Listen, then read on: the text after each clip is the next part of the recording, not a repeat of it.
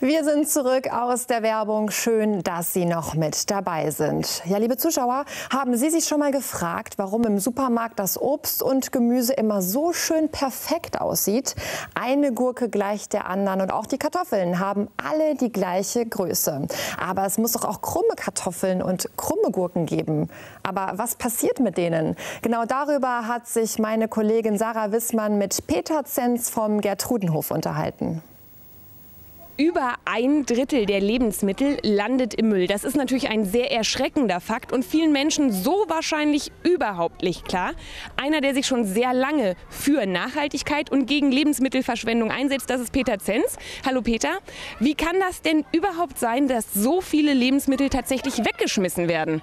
Ja, Lebensmittel wachsen eben nicht in der Fabrik, sondern in der Erde, auf den Bäumen und sind dementsprechend nicht eins wie das andere, sondern vielfach unterschiedlich, bunt und krumm eben auch. Da gibt es eben auch Möhren, die haben äh, ein bisschen krummere Form oder eine Kartoffel, die eben gewachsen ist wie ein Herz, äh, eine krumme Gurke, einen dicken Wirsing. All das, das bringt Vielfalt rein, aber die Vielfalt schaffen eben die Scannerkassen der Supermärkte nicht und deshalb dürfen die Landwirte das gar nicht dort abliefern. Und dann dann all diese tollen Sachen, die eigentlich super spannend aussehen, gerade die Kinder hier, wenn die die bei den Führungen finden, immer total spannend finden und gerne ernten, gerne probieren, die landen dann im Müll und äh, da finde ich, da muss ich was tun, dass das endlich wieder aufhört. Was kann denn jetzt jeder Einzelne von uns tun, damit diese Verschwendung tatsächlich aufhört? Ja, ich sage mal, jeder einzelne Einkauf ist letztendlich eine politische Entscheidung, weil man damit eben bestimmt, was für ein System man unterstützt. Ist es die industrielle Landwirtschaft, wo das Gemüse äh, wie aus der Fabrik sein soll, oder geht man in die Hofläden rein, auf die Höfe direkt, da wo es wächst, in die Familienbetriebe, ähm, wo eben auch die Möglichkeit ist, die ganze Ernte zu haben. Und so haben wir es hier auf dem Gertrudenhof auch gemacht. Wir haben die dicken Kartoffeln extra sortiert und die kleinen kleinen Kartoffel extra sortiert. Das ist das, was die Märkte gar nicht haben müssen, weil die Kartoffel mittelgroß sein soll. Was passiert? Am Ende des Tages sind oft gerade die kleinen ausverkauft oder die dicken, weil jetzt gerade Grillzeit ist und die Folienkartoffel viel besser auf den Grill passen.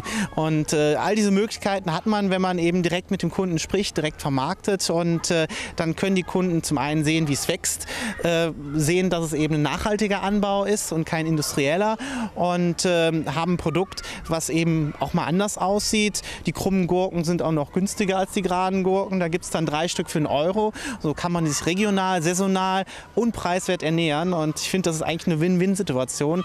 Und wenn man da als Kunde ähm, da vielleicht mal einen Aspekt drauf legt und, und das, das sieht und das unterstützt, dann tut man eben dafür was, äh, dass sich in die Richtung auch was bewegt. Denn in anderen Ländern, wie in Frankreich zum Beispiel, äh, gibt es schon viel mehr Vielfalt, auch in den Märkten. Und äh, wenn man immer mal wieder fragt, warum gibt es denn bei euch nicht die krummen Gurken oder was ist denn mit den kleinen Äpfeln, die für die Kindergartenkinder viel beliebter sind als die Riesenäpfel, dann werden vielleicht auch irgendwann hier die Supermärkte auch das anbieten und nicht mehr so viel landet im Müll. Ich habe es eben schon gesagt, du setzt dich schon sehr lange und auf sehr vielfältige Weise für Nachhaltigkeit ein. Das macht ihr zum Beispiel mit einer Box, mit einem kleinen Häuschen, was vor eurer Tür steht. Was ist das denn?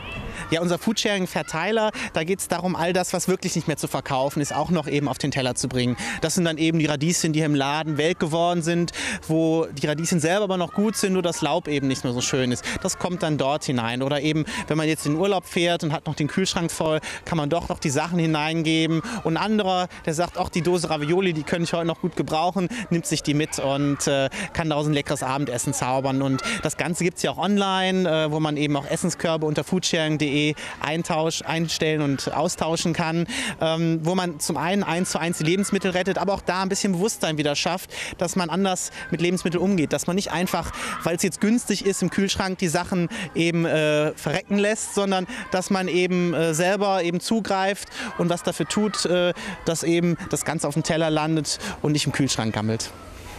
Und jetzt am Wochenende startet wieder eine ganz neue Aktion, die erste Schnibbelparty im Umkreis von Köln. Was genau ist das denn? Ja, Brettchen raus und losgeschnibbelt heißt das Motto unserer Party.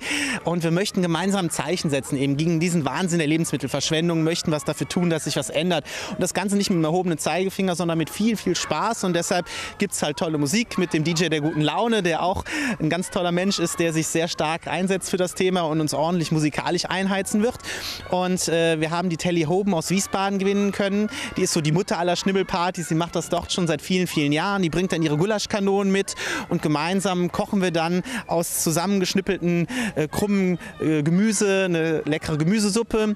Ähm, dann kommt auch die Jugend von Slow Food dazu aus Köln, Slow Food Youth Köln, die einen eigenen Stand hat und macht so ein bisschen Antipasti aus Sachen, die eigentlich nicht mehr schön genug wären, weil sie eine krumme Form haben und aber wahnsinnig toll schmecken und äh, machen den Grill an, setzen uns ans Feuer, machen die äh, Herzkartoffeln, grillen die zusammen und so gibt es, glaube ich, viel Leckeres zu essen, aber eben auch viele Möglichkeiten zum Austausch und das ist eben auch eine tolle Sache bei so einer Party, dass man sich eben austauschen kann und gemeinsam äh, über die Sachen sprechen kann. Ähm, es sind alte Hasen dabei, die sich schon auskennen mit den Themen, die sich schon viel Gedanken gemacht haben, andere, die einfach mal reinschnuppern. Es gibt also jede Menge Informationen zu einer guten Sache. Es gibt was Leckeres zu essen. Wird denn auch tatsächlich getanzt, weil es heißt ja Party? Ja, das soll durchaus so sein. Also wir fangen um 16 Uhr an am kommenden Sonntag, äh, weil es ja auch für die ganze Familie gedacht ist. Und äh, ja, so gegen 8 wird es dunkel und ich glaube, dann ist die Zeit vom DJ der guten Laune gekommen, wenn wir dann ordentlich uns gestärkt haben, äh, dass wir dann eben auch noch richtig schöne Beats haben und ordentlich Party machen können. Also Sonntag, 16 Uhr. Noch eine Frage. Was kostet das Ganze denn? Es kostet natürlich keinen Eintritt. Ähm, einfach Brettchen raus und losgeschnippelt heißt es. Also wer mag, bringt sein Messer und ein Brettchen mit äh, und kann da mitschnippeln. Brauche aber nicht. Ansonsten einfach gute Laune, Interesse an der Sache und ähm, um 16, um 18 Uhr einfach dazustoßen, mit feiern und gemeinsam eben mit uns eben ein Zeichen setzen, damit eben auch bald die Herzkartoffel im Supermarkt landet und nicht mehr auf dem Feld zurückbleiben muss. Eine ganz tolle Aktion, Peter. Ich wünsche euch viel Erfolg und vor allen Dingen viel Spaß dann am Sonntag. Und ich danke dir ganz herzlich, dass du uns heute wieder ja, so viel aufgeklärt und so viel informiert hast. Ja, da wird geschnibbelt, woanders wird gebraut.